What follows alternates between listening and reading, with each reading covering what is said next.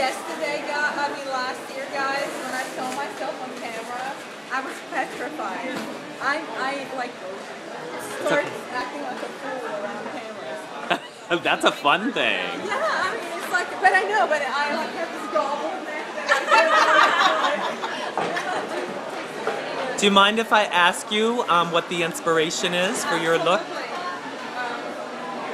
What are we rocking out today? Well, today rocking out uh, something that looks actually like a Malan. If I'm looking at the past shows, it's a it's a little bit of a Malan signature. He likes smoky eyes and um, and red lips, uh, kind of classic look.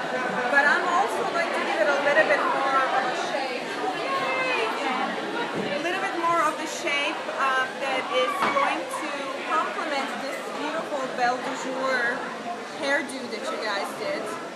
Awesome. Yeah, exactly. It's all about working in unison with your fellow hairstylists, right? You know it, baby. You know Oh, what? You know exactly what to say on camera. Hell yeah. hey, I'm a child of a hairstylist, so There you go. expect? I'm a groupie. Stay tuned for more from backstage at Mercedes-Benz Fashion Week.